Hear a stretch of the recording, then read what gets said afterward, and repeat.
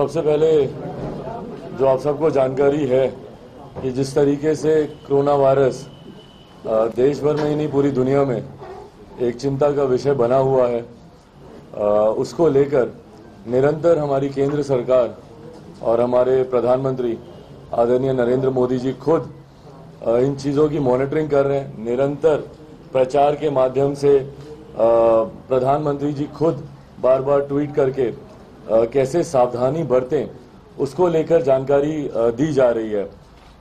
इसी बात को देखते हुए, इसकी गंभीरता को देखते हुए लोक जनशक्ति पार्टी, जो बिहार फ़र्स्ट, बिहारी फ़र्स्ट यात्रा, जिसकी शुरुआत हम लोगों ने लगभग महीना भर पहले की थी, और 20 से ज़्यादा जिलों से वो यात्रा होकर गुजर चुकी है, और जिसका बहुत खूबसूरत हम लोग को लोगों के द्वारा जो उसका रिस्पांस मिला, जो लोगों ने जिस तरीके से इस यात्रा को अप्रिशिएट किया और ख़ास तौर पर जो कार्यकर्ताओं का एक जोश देखने को मिला इस यात्रा को लेकर और इस यात्रा के बाद 14 अप्रैल को होने वाली रैली को देखकर।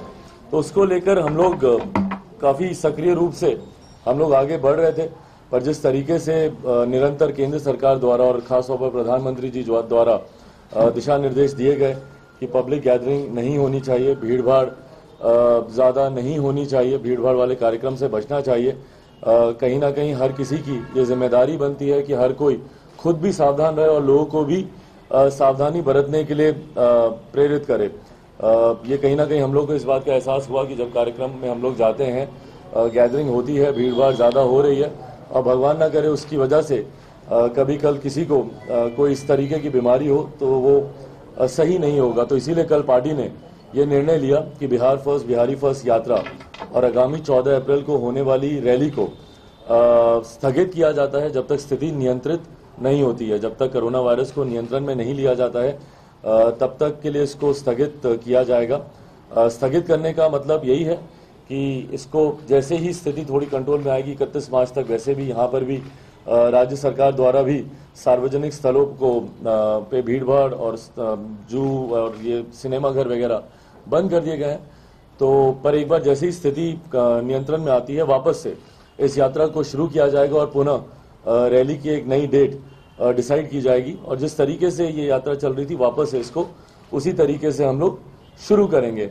हाँ इतना ज़रूर है कि कल से जब से हम लोगों ने इसकी अनाउंसमेंट की है, तब से निरंतर जिन जिन जिलों में कार्यक्रम बाकी था वहाँ से निरंतर कार्यकर्ताओं के फ़ोन मैसेजेस व्हाट्सएप पे संदेश। निराशा काफ़ी हुई है उन लोगों को आपके माध्यम से। अ, मैं अपने तमाम कार्यकर्ताओं को ये बताना चाहता हूँ कि इसमें निराश होने की ज़रूरत नहीं है। मैं समझ रहा हूँ कि आप लोगों ने काफ़ी तैयारी की थी काफ़ी समय से इस यात्रा को लेकर उत्साहित थे अपने अपने जिला में इंतज़ार कर रहे थे कि कभी ये यात्रा आएगी और वो अपने माध्यम से इस यात्रा की बेहतरी के लिए क्या क्या सुझाव हों या रैली को लेकर किस तरीके से या घोषणा पत्र को लेकर जो उत्सुकता कार्यकर्ताओं में थी, उसको लेकर ज़रूर निराशा हुई है। पर मैं आपके माध्यम से बस बताना चाहूँगा कि निराश होने की ज़रूरत नहीं है, जैसे ही स्थिति बेहतर होगी। वापस से हम लोग इस पर आएँगे और जो हम लोग के मुद्दे जो चलते रहे हैं, वो निरंतर चलते रहेंगे, क्योंकि टोल फ्री नंबर अभी भी हम लोग का काम कर रहा है, अभी भी विभिन्न माध्यमों से। हमारे जिला अध्यक्षों के माध्यम से, हमारे जिला प्रभारियों के माध्यम से, लोक जनशक्ति पार्टी के जितने प्रदेश उपाध्यक्ष हैं उनके माध्यम से निरंतर अभी भी हम लोग को सुझाव आ रहे हैं। हम लोग पूरी तरीके से Bihar first Bihari first vision document 2020 जो कि लोक जनशक्ति पार्टी का मैनिफेस्टो है अ, उसकी ड्राफ्टिंग पे हम लोग लगे हुए हैं। अभी लगभग 20 से ज़्यादा जितने जिलों से यात्रा गई है वहाँ से जितने सुझाव आए हैं उसका कंपाइलेशन का अ, काम हम लोग कर रहे हैं।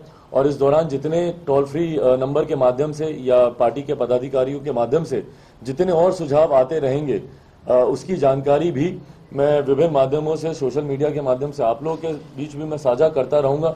जैसे इसके पूर्व में मैंने तमाम जानकारियाँ साझा की है। डायल हंड्रेड को लेकर मेरी चिंताएँ हों पुलिस महिला पुलिस को लेकर मेरी चिंताएँ हों या फिर नियोजित शिक्षकों को लेकर जो जो चिंताएँ जनता ने मेरे समक्ष रखी।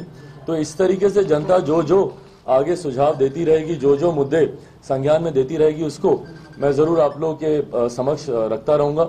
और वो मुद्दे इसी तरीके से उठते रहेंगे। उसमें हम लोग कहीं कोई कमी नहीं आएगी। बट हाँ यात्रा, हम लोग एक बार ये स्थिति नियंत्रित होती है, उसके बाद हम लोग यात्रा की हम लोग शुरुआत करेंगे। और in the mean time party पुनः अपने सदस्यता अभियान को तेज़ी देने का काम करेगी। जिलों में जहाँ जहाँ पर भी पार्टी के पदाधिकारी हैं बिना भीड़ इकट्ठा किए हुए, विभिन्न पंचायतों का दौरा करके, क्योंकि तमाम जिला अध्यक्षों को भी टारगेट दिया गया है कि उनको हर ज़िले उनको हर पंचायत में अ, उनको सदस्य बनाने हैं। अब उनको अगला टारगेट इस दौरान में उनको अगला टारगेट जो है उनको बूथ का दिया जाएगा कि उनको बूथ में जाके अ, उनको सदस्य उनको बनाने हैं। तो ये पार्टी का सदस्यता अभियान अब यहाँ से और ज़्यादा तेज़ी से हम लोग शुरू करेंगे। भीड़ भाड़ के कार्यक्रम या पार्टी के अ, अ, कोई ऑफिशियल पार्टी का कोई कार्यक्रम उसको अभी हम लोग नहीं करने जा रहे हैं। बस मैं उम्मीद करता हूँ ये विश्वास रखता हूँ कि जो परिस्थिति बनी है, उससे घबराए नहीं। बार बार मुझे लगता है तमाम प्रधानमंत्री जी और सब लोग इस बात की अपील कर रहे हैं। घबराने की ज़रूरत नहीं है। ज़रूर जिस तरीके से शटडाउन होने लगता है तो थोड़ी चिंता बढ़ जाती है, थोड़ी घबराहट होने लगती है, पर घबराने की ज़रूरत नहीं है। बस सावधानी बरतने की ज़रूरत है। हम लोग भी अपनी इंडिविजुअल रिस्पॉन्सिबिलिटी हम लोग भी निभा रहे हैं, सावधानी बरतने को लेकर। आप सबके माध्यम से मैं प्रदेश की जनता से भी बस ये आग्रह करूँगा कि सावधान रहें। बार बार बताया जाता है, हाथ नहीं मिलाएँ, नमस्ते करें, हाथ अच्छे से धोएँ जितनी देर तक हो सकता है, लगभग 30-40 सेकंड तक साबुन से निरंतर हाथ धोते रहें। तो जितनी सावधानी बरतेंगे, मुझे लगता है उतनी जल्दी हम लोग मिलकर ये जो बीमारी हमारे देश में आई है और अब हमारे प्रदेश में भी जिस तरीके से ये आ गई है, मुझे लगता है मिलकर सावधानी के साथ हम लोग इससे निपट सकते हैं। अब इसके अलावा और कोई सवाल आपको लगता है कि बिहार में इस तरीके की बीमारी फैलती है सरकार के पास अपना सिस्टम है मैं उम्मीद करता हूँ अपेक्षा रखता हूँ बहरहाल मेरी यात्रा के दौरान जिस तरीके से स्वास्थ्य को लेकर लोगों ने समस्याएँ मेरे संज्ञान में दी थी अ, वो ज़रूर चिंताजनक थी पर क्योंकि ये एक स्पेसिफिक मैटर है और जिस तरीके से राज्य सरकार ने तत्परता से अ, कल इसके ऊपर कई कदम उठाए हैं पब्लिक प्लेसेस को शट डाउन करने की बात हो पार्क्स को बंद किया है, या मॉल्स की बात है, या स्कूल कॉलेजेस की बात है सिनेमा घरों की बात है तो सरकार ने मज़बूत कदम उठाए हैं। उम्मीद रखता हूँ कि अस्पतालों में भी इसके पुख्ता इंतज़ाम हो। देश भर में हम लोग देख रहे हैं कि सारे अस्पतालों में मज़बूत इंतज़ाम किए जा रहे हैं। प्रिकॉशनरी स्टेप्स उठाए जा रहे हैं कि कल को कोई ऐसी भगवान ना करे पर अगर ऐसी कोई आपात परिस्थिति बनती है तो उसके लिए पहले से तैयारी हो।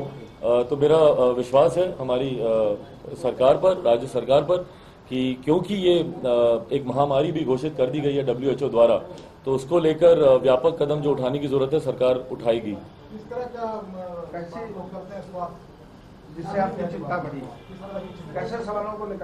देखिए जब मैं जिला जब मैं जिला में जिला वहाँ के लोगों द्वारा, और ये मुझे आमूमन हर ज़िले में ये सुनने को मिला। वहाँ के स्थानीय लोगों द्वारा, जनता के द्वारा मुझे बताया गया कि कई जिलों में उपकरण उपलब्ध नहीं है।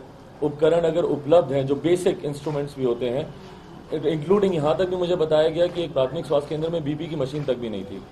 बट जहाँ पे वो उपकरण उपलब्ध भी हैं तो उसको कोई चलाने वाला नहीं है।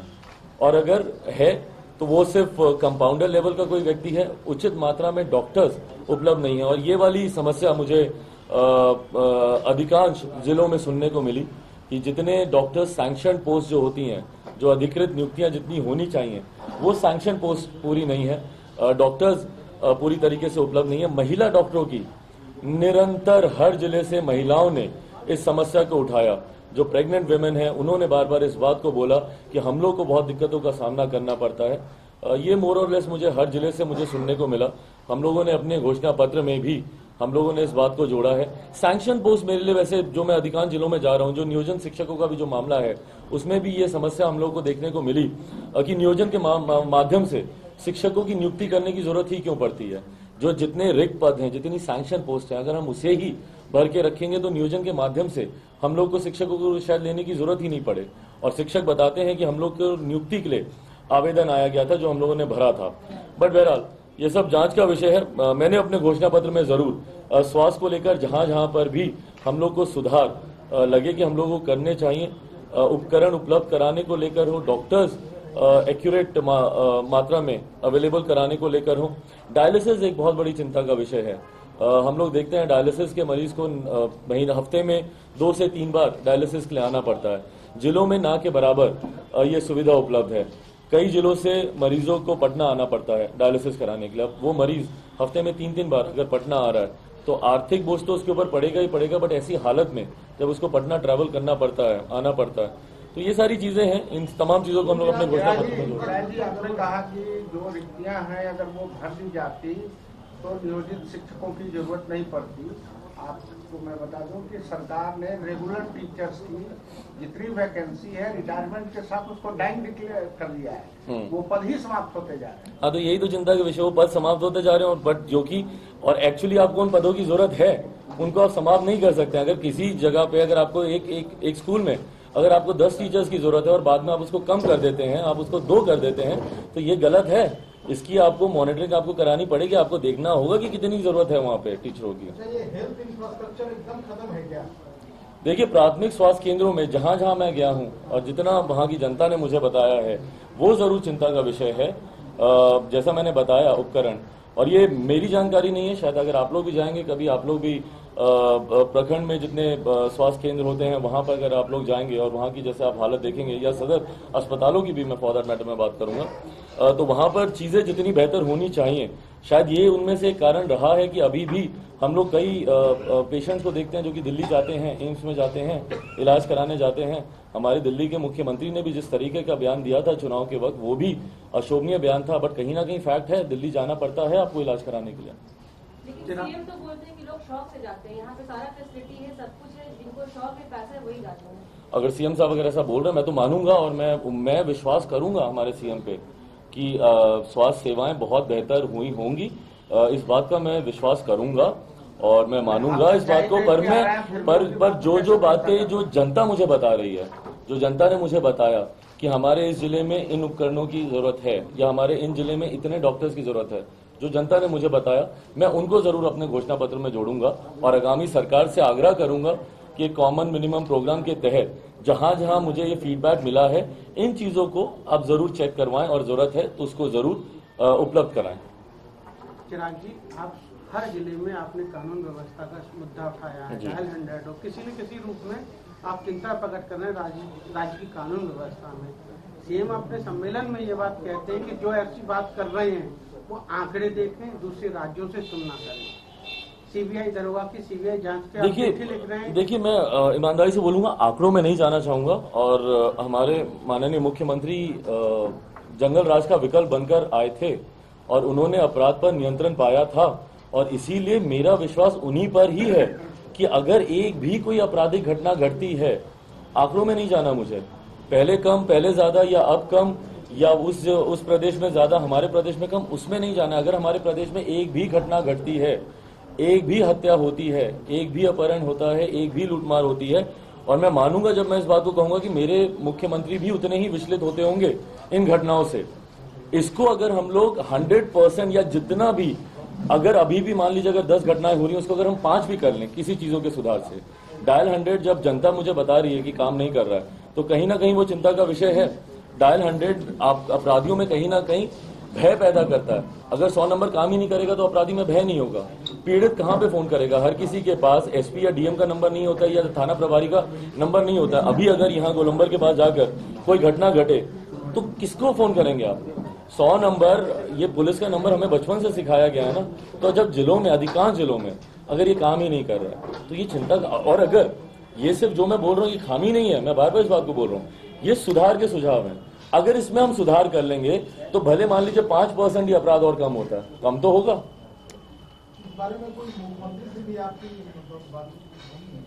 हम लोग इस बीच में मैं अपनी यात्रा को लेकर बिज़ी था और मैंने इस बात को मैंने कहा है कि एक बार मेरी यात्रा जब पूरी समाप्त हो जाएगी तमाम तरीके के जब सुझाव आ जाएँगे हम लोग अपना घोषणा पत्र हम लोग तैयार करेंगे और उस घोषणा पत्र के साथ अ, मैं मुख्यमंत्री जी से भी मैं मिलूँगा और आगामी चुनाव के बाद हम लोग ज़रूर चाहेंगे। इस बार हम लोग, देखिए, कोई भी एक गठबंधन की सरकार बनती है तो उसमें कॉमन मिनिमम प्रोग्राम बनता है। एक साझा न्यूनतम कार्यक्रम गठबंधन की सरकारों में बनता है। आमूमन तौर पर हम लोग देखते हैं कि ऐसा होता है। इस बार ऐसा नहीं हो पाया क्योंकि माननीय मुख्यमंत्री जी इससे पहले महागठबंधन का हिस्सा थे और वो बीच में हमारे गठबंधन में आए और उसके बाद एनडीए की सरकार बनी। तो उस वक्त वो माहौल नहीं था या वो समय नहीं मिल पाया कि तीनों पार्टियाँ आपस में बैठें और कॉमन मिनिमम प्रोग्राम के ऊपर काम करें। बट हाँ उम्मीद करता हूँ कि 2020 परिणामों के बाद सरकार एक साझा न्यूनतम कार्यक्रम बनाएँगे, जिसमें लोक जनशक्ति पार्टी के जितने भी घोषणा पत्र में जो भी सुझाव जनता से हम लोग को मिले हैं। और देखिए, मेरा विश्वास है, सुधार की गुंजाइश हर एक जगह होती है, कुछ भी परफेक्ट नहीं होता। अमेरिका जैसी जो डेवलप्ड कंट्रीज़ भी हैं, वहाँ पर भी अगर आप बोलें कि अब सब हो गया और कोई सुझाव कोई सुधार की ज़रूरत नहीं है, ऐसा संभव नहीं है। हर एक जगह सुधार की गुंजाइश होती है।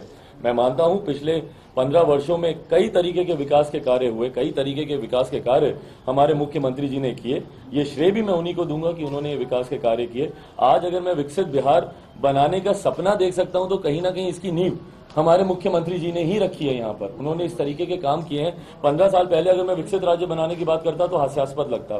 पर आज कहीं ना कहीं ये विश्वास भी उन्होंने मुझे दिया है कि मैं विकसित राज्य की मैं बात कर सकूँ। तो मुझे पूरी उम्मीद है कि जो जो सुझाव मैं उनको दूँगा और मैं उम्मीद करता हूँ कि वो भी उतना ही पॉजिटिवली लेंगे क्योंकि ये जनता से मिला, मिला हुआ फीडबैक है। मैं जनता के बीच जा रहा हूँ वहाँ से मिला हुआ फीडबैक है। ये चिराग पासवान कह रहा है या मैंने इन चीज़ों को चिन्हित किया या अंकित किया ऐसा नहीं है। जो जनता बता रही है मेरा भी ज़िम्मेदारी बनती है कि मैं जनता और सरकार के बीच ब्रिज बनूं। और ये ब्रिज बनने का मेरे पास एक ये घोषणा पत्र एक माध्यम है क्योंकि हम लोग सरकार का समर्थन कर रहे हैं। बाहर से लोक जनशक्ति पार्टी सरकार का हिस्सा नहीं है।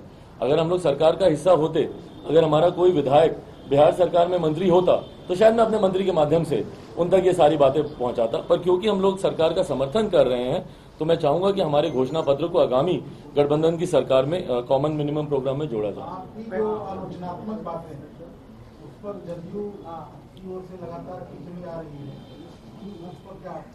देखिए, मैं जो भी लोग टिप्पणी कर रहे हैं, मैं ईमानदारी से मैं उनको बोलूँगा कि मैं बार बार इस बात को कह रहा हूँ कि मैं कोई खामियाँ नहीं गिना रहा हूँ, और बल्कि कहीं ना कहीं इस बात को अप्रिशिएट करना चाहिए कि जो बाकी कार्य रह गए हैं, उनको मैं जनता से पूछकर, उनसे जानकर, मैं उनको चिन्हित कर कर आपके समक्ष रख रहा हूँ।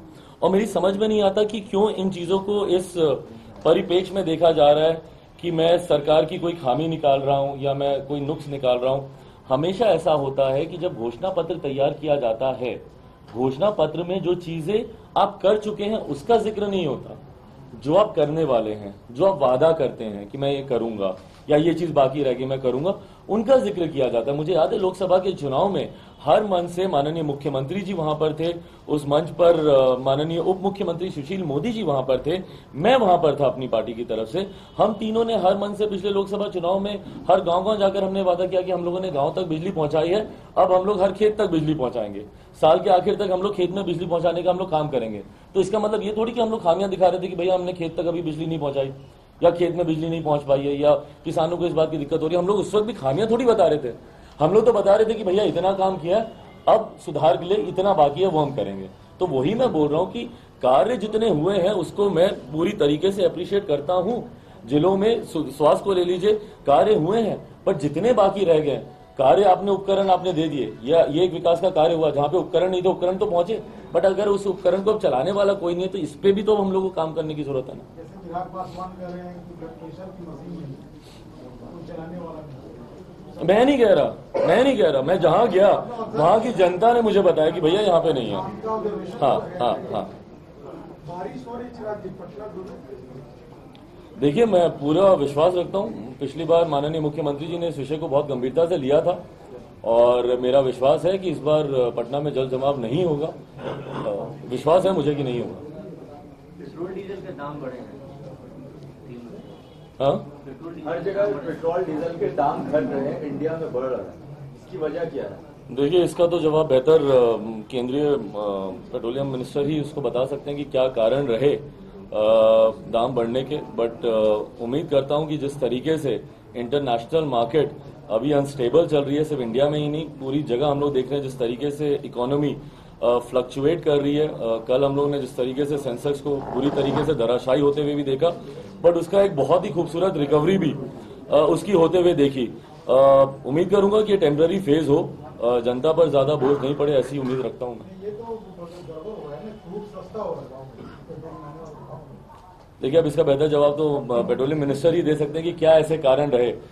बट विश्वास है मेरा हमारे प्रधानमंत्री पर कि जल्दी इस परिस्थिति को भी वो नियंत्रित करेंगे। आप अपने अपने अभी के संबोधन में विश्वास सीएमओ पीएमओ और जनता की बात इन दोनों में कुछ गैप पाते हैं क्या? नहीं बट क्योंकि देखिए मैं बार बार मैं ये कह रहा हूँ मैं मैं एक यात्रा पर हूँ मैं जनता के बीच जा रहा हूँ। मुझे लगता है कि कल को अगर कोई जदयू के भी अगर कोई नेता अगर यात्रा पे निकलेंगे या माननीय मुख्यमंत्री जी अगर ऐसा सोचते हैं कि वो किसी ऐसी यात्रा पे सड़क मार्ग के माध्यम से कोई जाए तो जाएँगे तो जनता उनको बताएगी।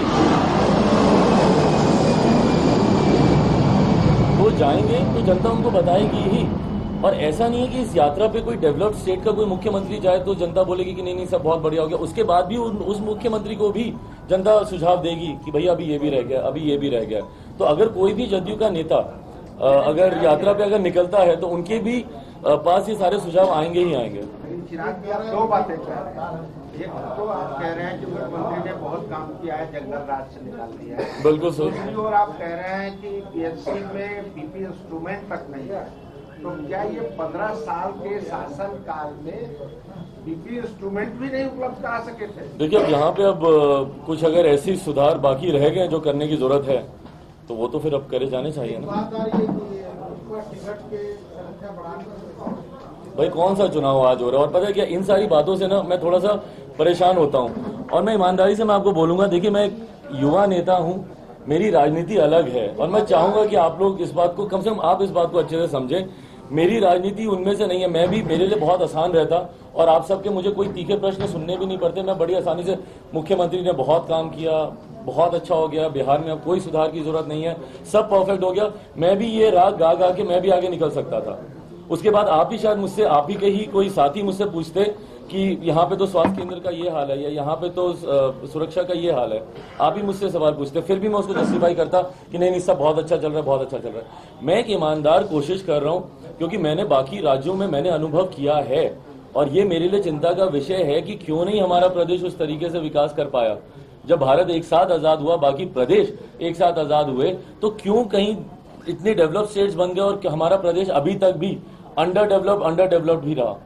तो उसके लिए मैं एक ईमानदार कोशिश कर रहा हूँ। मैं चाहता हूँ कि भैया, लोगों का पलायन नहीं हो। मुझे नहीं अच्छा लगता जब कोई बिहार का लड़का दूसरे प्रदेश जाता है पढ़ने के लिए। मैं चाहता हूँ कि बाहर के लड़के आए यहाँ पे पढ़ने के लिए, बाहर के लड़के आए यहाँ पर नौकरी करने के लिए। कल मैं फ़्लाइट से आ रहा था। मुझे दस पंद्रह, मुझे उस फ़्लाइट में लड़के मिले जो कि बॉम्बे में काम करते थे।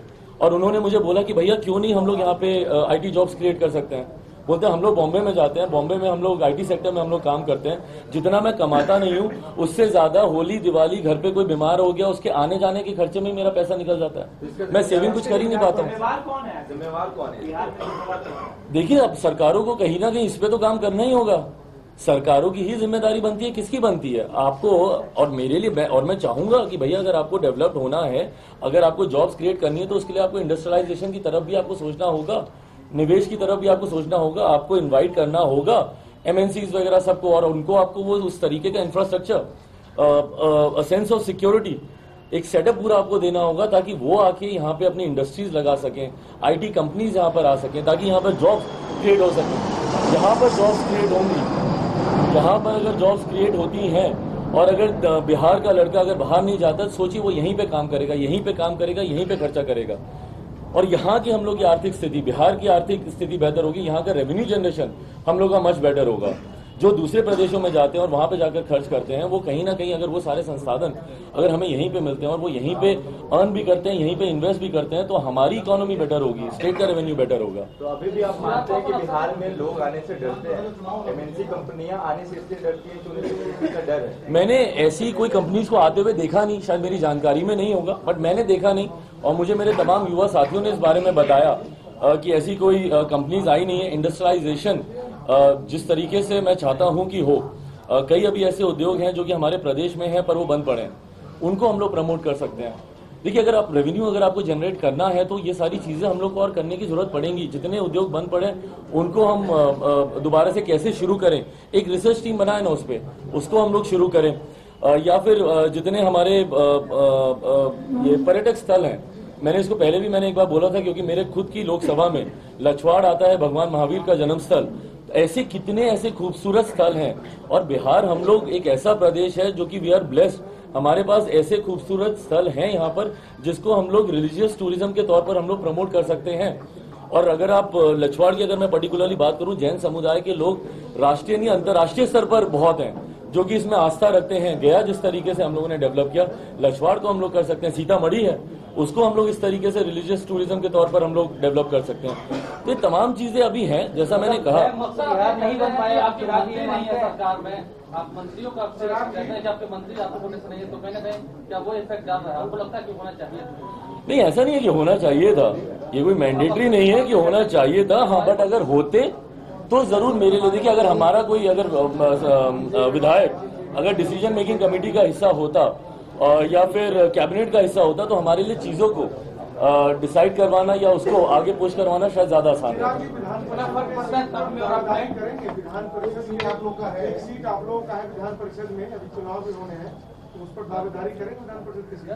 देखिए अब वो क्या होगा नहीं होगा वो गठबंधन के भीतर की बात है। अभी उसको सार्वजनिक तौर पर उस पर कोई भी टिप्पणी करना जब तक गठबंधन के भीतर इसको लेकर बात नहीं हो। अब इसके बाद अगर अगला सवाल अगर आप संख्या पे पूछेंगे कि आप लोग कितनी संख्या पे चुनाव लड़े ये सब अभी समय। अच्छा और हकीकत अच्छा आपने जो सवाल पूछा था। चुनाव होने वाले हैं विधान परिषद के। हाँ। मतलब इसी महीने नोटिफिकेशन भी हो जाएगा तो क्या उस पर आप लोग दावेदारी करेंगे क्योंकि आपका एक सीट ये अगर हम लोग करेंगे देखिए जो हम लोग की वो वाली भी सीट थी देखिए वो अभी खैर गठबंधन के भीतर की बात है। जब वो होगी उसके बाद उस पर टिप्पणी की जाएगी। बोलना चाह रहे थे हाँ। बोल रहे थे आप। बोल रहे थे। गठबंधन के भीतर करने के बाद। और कोई सवाल? हाँ थैंक यू